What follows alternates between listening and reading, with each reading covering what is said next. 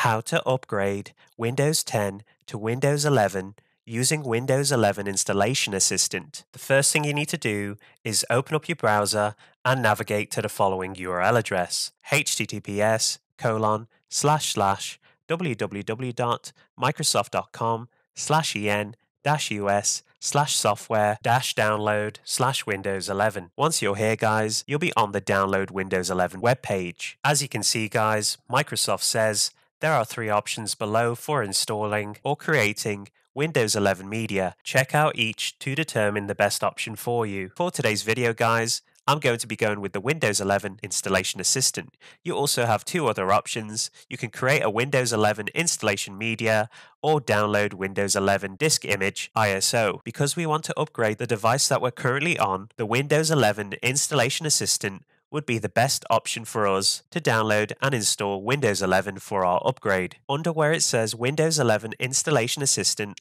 look for where it says Download Now. Now, before you click on the Download Now button, guys, make sure to check your computer's compatibility to run Windows 11. I'll put a link in the video description below to one of my videos that will show you how to do just that. I'll also include a card at the top right hand corner of this video that you can click on that will also take you to that video. Once you've checked if your computer meets the compatibility requirements to run Windows 11, left click on Download Now. You'll then be prompted with a window to pick a save location for the Windows 11 Installation Assistant. As you can see guys, I'm in the Downloads folder here and that's where I'm going to be downloading the Installation Assistant to. I'm going to leave the file name and save as type as they are and simply left click on Save. The Windows 11 Installation Assistant will then be downloaded. Navigate to the bottom bottom left hand corner of your browser, left click on the arrow, and left click on Open. You'll then be greeted with the user account control asking you, do you want to allow this app to make changes to your device? You have two options, yes or no. Left click on yes, as we want to upgrade to Windows 11. The Windows 11 Installation Assistant will then open. Install Windows 11. Good news, this PC meets the minimum system requirements to install Windows 11. Please note, system requirements to enjoy some Windows 11 features and run some apps may exceed the Windows 11 minimum system requirements. Some Windows 10 features aren't available in Windows 11. For more info, see device specifications, and you can click on this hyperlink text to see those device specifications if you want. To install, you must accept the license terms below. Read through the license terms in your own time, guys, and once you've read through it, you can left click on decline if you do not want to proceed with the installation of Windows 11, or you can left click on accept and install, which is what I'm going to be doing as I want to install Windows 11. Simply left click on accept and install to begin the installation process. As you can see, guys, at the very top here, the Windows 11 installation assistant says step 1 of 3 downloading. It's fine to keep using your PC. See and below you can see the percent complete. And I'll be back with you guys once this reaches 100% and we're on step 2 out of 3. Alright guys, I'm back and as you can see we're on step 2 out of 3, verifying download.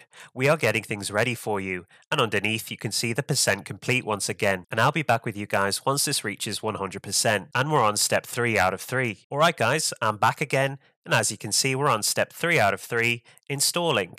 It's okay to keep using your PC, but we'll restart your PC 30 minutes after we reach 100% on this screen. So make sure to save your work frequently and underneath you have the percent completion. So keep that in mind guys, your PC will be restarted after 30 minutes once the installation has reached 100%. I'll be back with you guys once the percentage has reached 100%. Alright guys, I'm back. The installation reached 100% and as you can see the Windows 11 Installation Assistant now says your PC needs to restart to install Windows 11. Please save your work, plug in your PC and leave it turned on.